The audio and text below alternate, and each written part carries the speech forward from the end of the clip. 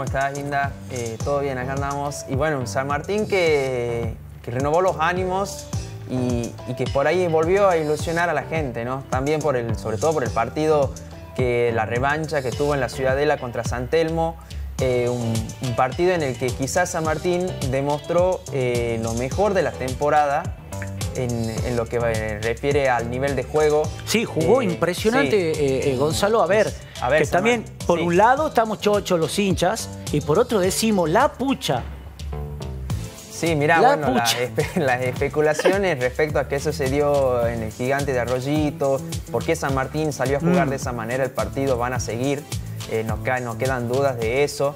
Eh, los jugadores también, por ahí cuando hablan con la prensa, eh, reflejan ese dolor de decir, mira, estuvimos ahí y no lo pudimos concretar pero eh, también sorprende a la vez el nivel que mostró San Martín, cómo se levantó de rápido en la Isla Maciel y el nivel que mostró en la Ciudadela contra San Telmo.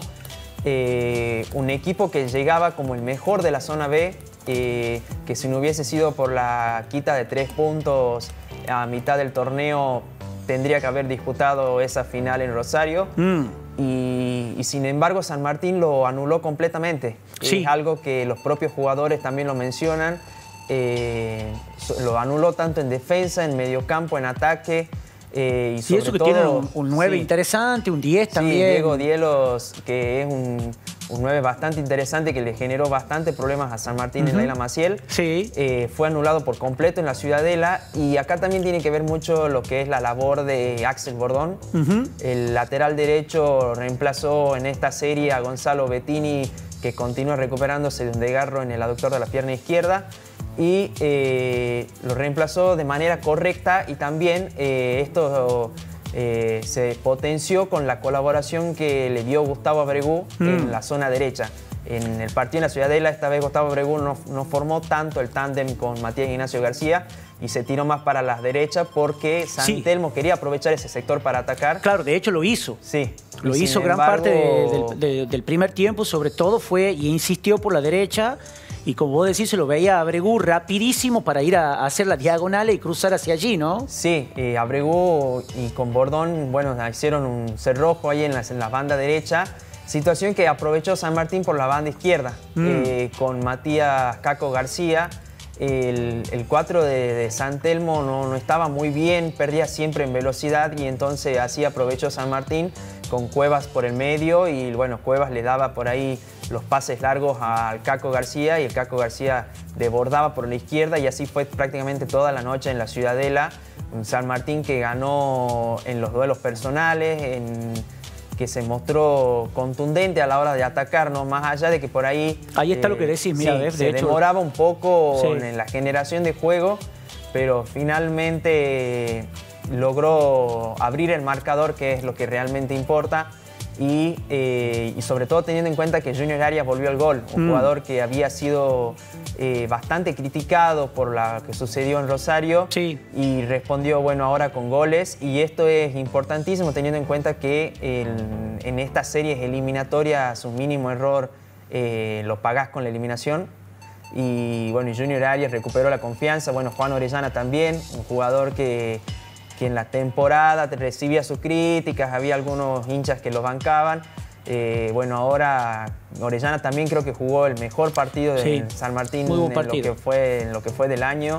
Eh, y vos también fíjate, eh, un aspecto nuevo en San Martín fue la presión alta de los defensores a la delantera. Claro. Por ahí todo el año los defensores se quedaron estáticos y esta vez no esperaron que ni un segundo toquen la pelota al jugador de San Telmo y lo fueron a atacar. Eh, fue un, prácticamente lo ahogaron a, los delanteros de San Telmo que, solo tuvieron esa, que es el, remate de Parisi al, que, rebota en el palo, que fue la única de peligro que tuvo San Telmo y San...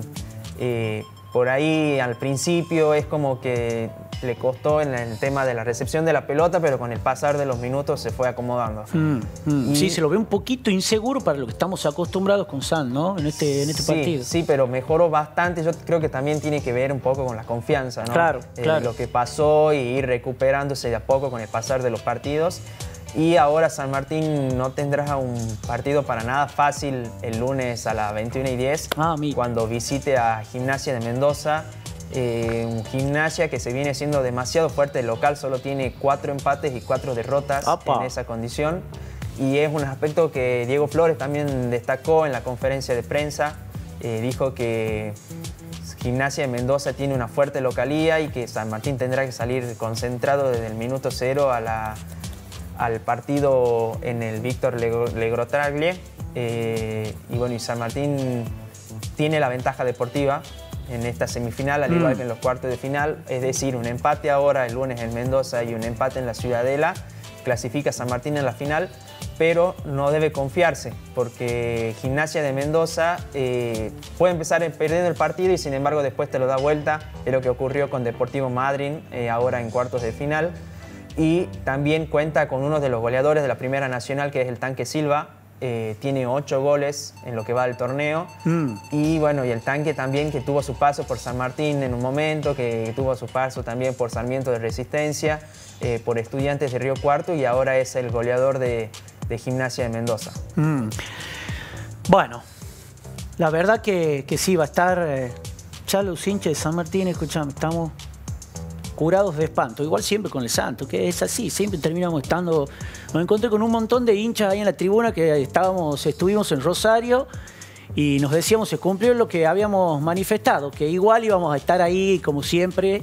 Peleando. La parcialidad de Santa acompañando en todas, en todas, en la buena, en las malas, en las más o menos. ¿Algún cambio, algún lesionado? ¿Todo bien con el mira, eh, Flores está aguardando por la recuperación de Bettini eh, y Pablo Hernández se fue en el entretiempo contra Santelmo por un golpe también. Mm. Eh, pero el técnico aseguró que ya ambos hicieron fútbol con el grupo Así que la única duda que mantendría Flores sería si vuelve Gonzalo Bettini o mantiene a Axel Bordón.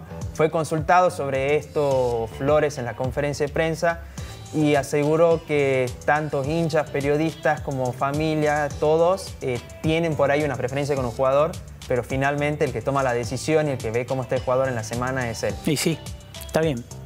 Bueno, gracias Gonzalo. ¿Te vas? ¿Vas a Mendoza?